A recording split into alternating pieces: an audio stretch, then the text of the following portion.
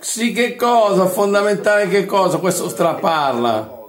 Oggi dicono che una riforma populista è l'ottava volta che viene portata in un modo o in un altro in Parlamento. Ma da chi? Dalla loggia P2, da Riccio Gelli.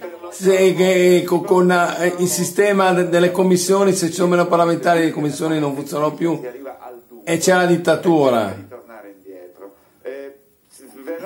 Verrà a rappresentatività, ci sarà un problema di rappresentatività, non è assolutamente vero. Quando- Ma questo straparla, poi non è vero. Ne- Ci sono interi, interi, interi, interi territori che non avranno più un rappresentante e, e ci sarà la dittatura contro, contro i cittadini. Lo sa, era uno ogni 80.000 deputati. Questo straparla come Di Maio, il cervello inesistente zero su zero. nel quale, in un territoriale nel quale poi fu modificato successivamente perché oggi- La loggia P2, Licio Gelli. No? Eh, è, la- eh, è l'origine della riduzione dei parlamentari.